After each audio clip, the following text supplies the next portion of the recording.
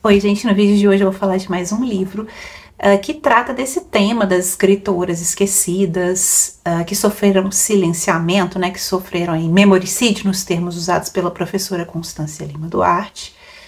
É um livro de leitura complementar, né, sobre esse tema, para quem se interessa, para quem tem obsessão sobre esse tema como eu. E leitura complementar aí, nosso clube de leitura de escritoras clássicas sem classe, né? E o livro é Vidas de Romance, As Mulheres e o Exercício de Ler e Escrever no Entre Séculos 1890-1930, da Maria de Lourdes Eleutério. O livro foi publicado em 2005 e se baseia na tese de doutorado defendida pela autora no Departamento de Sociologia da Faculdade de Filosofia, Letras e Ciências Humanas da USP, sob a orientação do professor Sérgio Miceli, que assina então a apresentação desse livro. O que a, a autora vai fazer é traçar o percurso intelectual de uma série de escritoras brasileiras que viveram aí no final do século XIX, início do século XX. E ela o faz um, buscando a construção da identidade dessas mulheres como mulheres e como escritoras e a forma como elas representaram essa construção de identidade uh, em sua obra, em seu discurso, e também a forma como esse discurso então influenciou essa construção de identidade. Então, é um, um movimento circular. Nós podemos perceber que todas as obras que eu abordei até aqui, né, de leituras complementares sobre esse tema, vão de certa forma ter como foco né, essa construção de identidade, representação dessa identidade num discurso e, por sua vez, o efeito desse discurso na própria identidade, enfim.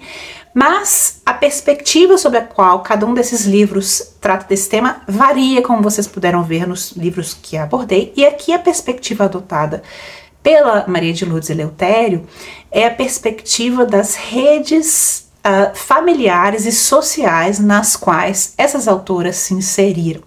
Então, a autora Maria de Lourdes vai traçar o percurso intelectual dessas escritoras, a forma como elas se uh, ingressaram na carreira de letras, né, na, na escrita, e como eventualmente consolidaram a sua carreira sob a perspectiva das relações que elas mantinham, especialmente as relações familiares. Então, nós temos capítulos dedicados a escritoras que possuíam irmãos no meio literário, que possuíam irmãs no meio literário, maridos, amantes, enamorados, enfim, na a relação entre escritoras e seus pais e a relação entre escritoras, mães e filhas. Então, cada capítulo vai focalizar um tipo de relação familiar com familiares que de uma forma ou outra transitavam pelo uh, meio literário da época e como esse trânsito influenciou na escritora, no percurso intelectual e na forma como ela se consolidou na, na carreira como escritor ou na atividade da escrita. Esse vai ser, então, essa vai ser a perspectiva adotada pela autora e a cada capítulo ela vai focar uma, um tipo diferente de relação e vai dar exemplo de duas ou mais escritoras que tiveram aquela relação como foco de seu percurso intelectual. E aí foram várias as escritoras abordadas e a Maria de Lourdes ela faz uma breve biografia dessas escritoras. Ela trata das influências literárias dessas escritoras, das relações, por óbvio, que essas escritoras tinham com os familiares, das influências que elas tinham e como essas relações as, as ajudavam ou não a se consolidar naquele meio e também o tipo de crítica que elas receberam, né, dos críticos literários, ou como foi, como o discurso delas, ou como a obra que elas produziram foi recebido na época. E são diversas as autoras abordadas. Se você tem interesse em é, saber a biografia dessas autoras dessa época, esse livro é muito bom. Também a, a Maria de Lourdes ilumina algumas das obras dessas escritoras, e o que ela faz muito bem também é cada pessoa mencionada na obra, ela abre uma nota para contextualizar que pessoa é aquela, contextualizar que referência é aquela. Então ela, ela faz um trabalho muito bom de contextualizar o leitor em todas as pessoas mencionadas aqui que de alguma forma se relacionaram com a escritora. Como eu disse, a perspectiva das relações familiares com diversos membros da família, mas nós temos muito presente aqui também a, as relações de amigas, né, de apoio mútuo entre escritoras. Embora não seja um capítulo específico do livro, está muito presente, é algo que percorre todos os capítulos do livro, tá? E aí eu vou apenas pincelar algumas das autoras mencionadas aqui e algumas das questões, mas são várias as autoras. Esse livro é muito rico. E a primeira delas que eu gostaria de mencionar é a Amélia de Oliveira, que era irmã do Alberto de Oliveira, né, o poeta, e ela também escrevia poesia. Ela publicou pouco em vida e publicou sob pseudônimo. E após sua morte foi publicada então uma, uma obra póstuma. E ela foi noiva do Olavo Bilac, num noivado assim um tanto uh, tumultuado, porque o término desse noivado foi muito tumultuado, não se sabe muito bem o que exatamente levou a esse término, especula-se que tenham sido aí os irmãos de Amélia que é, não viam com bons olhos a relação dela com o Olavo, né? O Olavo era amigo do Alberto, então por isso ela conheceu o Olavo, mas eles consideravam que o Olavo, Olavo não era, Olavo Bilac não era um bom partido, não tinha futuro, né? Ou era um cara muito boêmio. Isso são especulações, ninguém sabe muito bem como ocorreu esse término. E aí, na época que eles eram noivos, né, enfim, e namorados, ele escrevia cartinhas apaixonadas para ela, e em uma dessas cartas que é mencionada aqui, ele vai se posicionar quanto à questão da publicação, da mulher publicar poemas. Ele vai se manifestar contrário a ela publicar os escritos dela. E aí ele começa a cartinha com toda aquela lábia, né, elogiando, né, e depois é que ele vai dar aquela alfinetada. Então eu vou ler aqui o trecho mencionado pela, pela Maria de Lourdes, citado, né, Minha Amélia, antes de tudo, Quero dizer-te que te amo agora mais do que nunca, que não me sais um minuto do pensamento, que és a minha preocupação eterna, que vivo louco de saudade. Então ele vai, toda aquela lábia, né, adoçando aí o discurso e depois ele, ele vem. Não me agradou ver um soneto teu. Desagradou-me a sua publicação. Esse aqui foi um dos poucos poemas que ela publicara sob pseudônimo ainda. Previ logo que andava naquilo o dedo do Bernardo ou do Alberto, tá mencionando os irmãos aí. Tu, criteriosa como és, não o farias por tua própria vontade. Há uma frase de Ramalho Ortigão que é uma das maiores verdades que tenho lido. O primeiro dever de uma mulher honesta é não ser conhecida. Não é uma grande verdade? Há em Portugal e Brasil cem ou mais mulheres que escrevem, não há nenhuma delas de quem não se fale mal com ou sem razão. Não quer isto dizer que não faças versos, pelo contrário, quero que os faças, muitos, para os teus irmãos, para as tuas amigas e principalmente para mim, mas nunca para o público. Teu noivo, Olavo Bilac, essa carta de 1888. Veja a pressão para a mulher não se colocar na esfera pública, né? É, o primeiro dever de uma mulher honesta é não ser conhecida. E todas que se publicam, então, é, algo se fala sobre elas, né? Mal ou bem. Então essa carta ilumina muito bem a pressão que existia na mulher para se manter aí confinada à esfera privada. Pois bem, haverá o término desse noivado de uma forma assim que não se sabe muito bem, apenas há especulações. E no ano em que há esse término, Bilac também larga a faculdade de Direito e publica a coletânea de poemas, poesias. E esse ano foi assim, né? O ano que deu a louca no Bilac, tudo de uma vez. E pouco tempo depois, ele entra em um novo noivado com uma outra garota e escreve cartas apaixonadas do tipo assim: Nunca amei ninguém como você, você é a primeira que eu amo dessa forma, blá blá blá. Você vê que ele dizia isso para todas, né? O típico cara bico doce, né? Ali só na lábia. E a Amélia nunca deixou de venerar Bilac, ela nunca se casou. E ela, depois que ele morreu, ela visitava regularmente o túmulo dele. Enquanto ele estava ainda vivo, ele alimentava isso nela, né? Ele chamava a Amélia de minha eterna viúva. E veja bem, que situação horrível para essa mulher, né? Não tinha talvez ninguém que sacudisse ela, desse a real ali, Amélia. Esquece esse cara, esse cara aí não é para casar não. Para fazer poesia, OK, mas para casar são outros 500, esquece esse cara. Mas não, ficou a vida toda ligada à figura do Olavo Bilac. E o Olavo Bilac, de certa forma, ela teve sorte com esse término, né? Os irmãos aí pareciam ter razão. Olha, o cachorro tá aqui. Porque Olavo, ele se posicionava muito contrário ao casamento, inclusive tem poeminhas aqui ironizando o casamento. Gente, o cachorro tá querendo, tá querendo atenção. Por exemplo, que ele publicou sob pseudônimo, tá? Então ele publicou esse poema aqui sob, sob pseudônimo de Bob em 1897, que eu vou ler. Isso aqui saiu da pena do Bilac, tá? Antes era um paraíso. Beijos, protestos de amor. Cada dia era um sorriso, cada hora uma flor. Depois, o marido guapo mudou de amor e de ação. Cada dia era um sopapo, cada hora um cachação. Então, olha a visão que ele tinha do casamento. De fato, o Olavo Bilac nunca se casou e ele nunca teve um relacionamento público duradouro com uma mulher. Né? Então, especula-se também essa questão na vida do Olavo Bilac. E ele também era favorável ao divórcio, e ele também tem um poeminha que ele publicou sob o pseudônimo de Jack, 1894. Uh, é, contrário a um senhor, Monsenhor Mourão, que tinha se posicionado contrário ao divórcio, e aí ele vem criticar essa questão.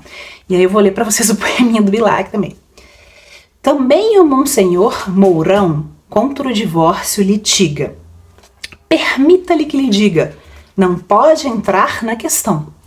Só quem dá de esposo a mão e com a esposa em casa briga é que disse quer ou não livrar-se daquela espiga.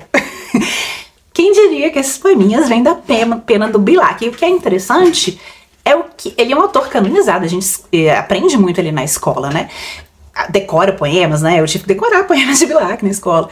Mas esses poeminhas aqui que ele escreveu sob pseudônimo não estão na obra canonizada dele. Então, isso também são, como a Zaide falava, histórias do cânone, né? Mesmo os autores considerados canonizados, eles têm obras que são selecionadas ali e algumas ficam na sombra. E no caso, esses poeminhas mais é, satíricos não são conhecidos, o que é uma pena, porque eu acho que isso traria o poeta e a poesia dele mais próximo do leitor, especialmente um leitor mais jovem, né? O leitor vai ler isso e talvez vai pensar, poxa, esse Olavo Bilac não é aí um busto de mármore, né?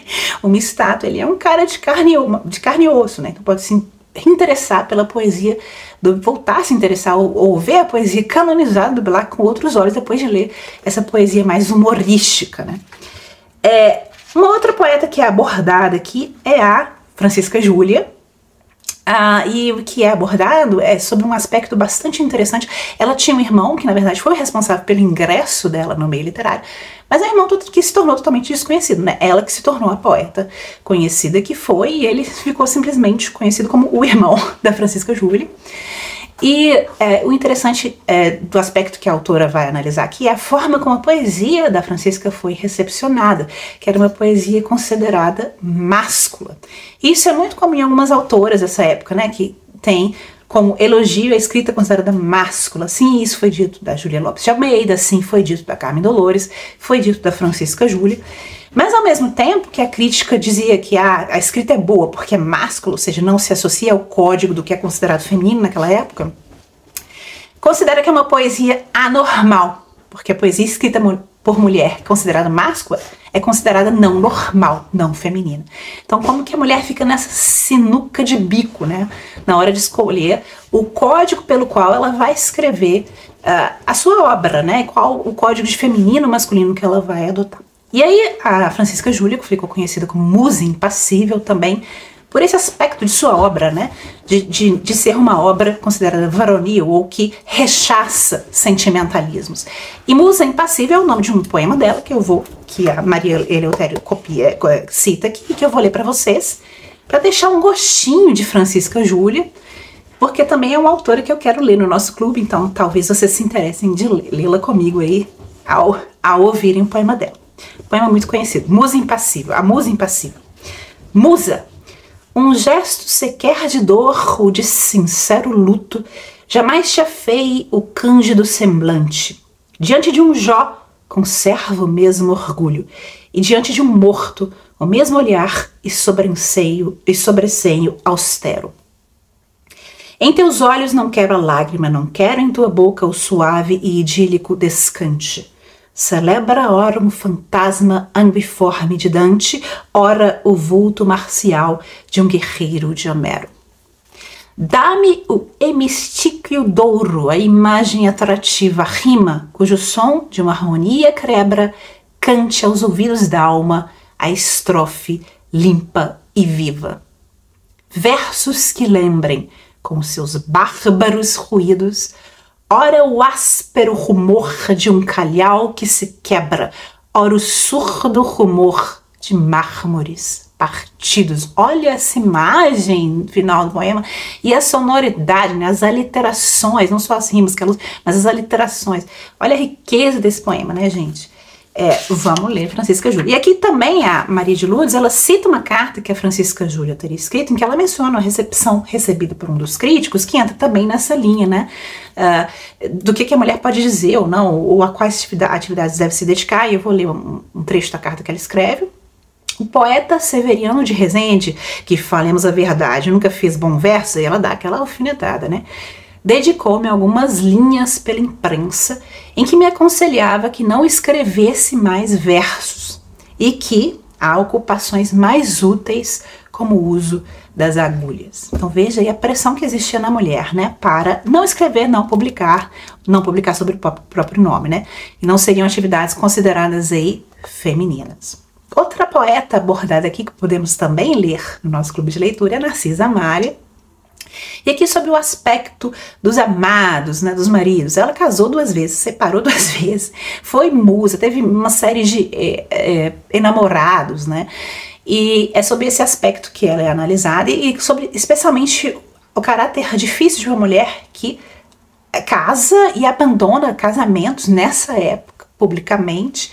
E não só isso, que ela é musa, musa e, e, e, tem uma série de namorados. Em como, como é, fica complicada essa relação de ser musa, né?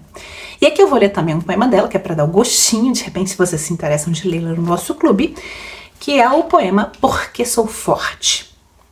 Dirás que é falso. Não, é certo. Desço ao fundo da alma toda vez que hesito. Cada vez que uma lágrima ou que um grito trai minha angústia ao sentir desfaleço. E tudo assombro, toda amor confesso, limiar desse país bendito, cruzo. Aguardam-me as festas do infinito. O horror da vida deslumbrada esqueço. É que há lá dentro vales, céus, altura. Que o olhar do mundo não macula terna, lua, flores, queridas criaturas. E soa em cada moita, em cada gruta, a sinfonia da paixão eterna. E eis-me de novo forte para a luta. Tá aí, é, Narcisa Amália. E Uh, não vou citar aqui todas as relações, mas há relações também muito interessantes de pai e filho, como por exemplo a Albertina Berta com o pai dela e a importância do pai dela na formação intelectual dela. Vamos pensar que nessa época não se era considerado necessário que a, que a mulher estudasse, então quando o pai apoiava a educação da filha, isso fazia toda uma diferença. E nós vamos ver que muitas dessas escritoras, Júlia Lopes de Almeida inclusive, elas tiveram apoio paterno e isso foi fundamental para que elas uh, não só tivessem um percurso intelectual, uma educação, mas ingressassem mesmo uh, na carreira. E aqui, é, também as relações mais mais e filhas, eu vou citar a relação da Carmen Dolores, que eu já mencionei no, no podcast, com a filha Chrysantheme.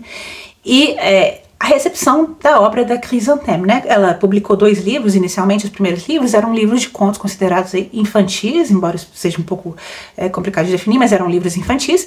E aí, quando ela finalmente publica os livros que não são infantis, a reação da crítica é bastante é, interessante. Aqui a Maria de Luz Eleutério cita um, um trecho de uma crítica do Agripino Greco, né? Que é um famoso crítico aí. E eu vou ler para vocês. Depois de escrever lindas histórias para crianças, a senhora Chrysantheme entrou a pôr venenos borgianos nas compotas de manga ou caju. Seus heróis dantes faziam apenas orgias domésticas com chá, a tisana elegante dos ricos. Hoje, atiram-se à morfina e à cocaína. A senhora Crisantemo descreve agora o mostruário de homens da avenida e suas heroínas praticam uma espécie de dom juanismo feminino. Veja que esse trecho é uma crítica querendo ser bastante negativa, mas a gente lê isso e a gente pensa, quero ler. quero ler Crisanteme, né? Hum, interessante. Picante, quero ler essa autora. Então, talvez tenha esse efeito aí. Bom, foram só algumas das autoras pinceladas aqui. Eu acho esse livro especialmente um livro delicioso de ler, tá? É, tanto na primeira vez que eu li esse livro, como agora que reli para fazer esse vídeo, achei muito gostoso de ler, muito fluido. E é o tipo de livro assim que você sai do trabalho, você quer chegar logo em casa para poder pegar o livro e continuar a leitura. Então esse é o tipo de livro assim gostoso, gostoso de ler mesmo. É claro, para quem se interessa por esse tema, né? Especialmente no que concerne a importância das redes de contato social e familiar para o ingresso de uma mulher nesse tempo, é, não só na vida intelectual como na carreira de escritora e a consolidação dessa carreira. Como que isso era importante, como essas escritoras de diversas formas tentaram cultivar esses contatos sociais ou se viram impedidas de fazê-lo por sua condição de mulheres naquele tempo. E também o que eu acho interessante é a reação da crítica, né? As diversas reações que a Maria de Lúcia Lotério uh, cita uh, da, da, crítica com relação às diferentes escritores e às suas publicações e como que isso tem sempre um caráter dentro de uma codificação feminino masculino desse tempo. Então, muitas escritoras que tinham sua obra classificada como varonil, máscula, eram elogiadas. Muitas escritoras que publicavam pela primeira vez, elas tinham notas de publicação que anunciavam, ah, o livro de fulano de tal, filha de Beltrano, como para dar uma minorada, ela está publicando, mas ela é filha de Beltrano, então fulano de tal, esposa de Beltrano, né, para dar uma minorada. Então sempre a, a relação masculina que ela tinha, uma relação seja com o pai com o marido, ela é mencionada na nota de publicação, como para dar uma justificada ali, ela está publicando, mas ela é filha de fulano. Uh, ou então a, o talento literário dela é chamado de prenda literária, né? Como aquelas prendas de tocar piano, falar francês, uh, fazer crochê e escrever, como se fosse assim, o talento literário fosse uma continuação do dote, né? Então, aquela mulher repleta de prendas literárias. Então, essa forma uh, de recepção da escritora, que também constitui talvez uma forma de, de violência simbólica e uh, invisível que essas escritoras sofreram em seu tempo e que dificultava não só seu ingresso na carreira, como sua consolidação na carreira. Bom, é isso, já falei demais, espero que animem a ler esse livro e que se anime a participar do nosso clube de leitura. É isso e até mais.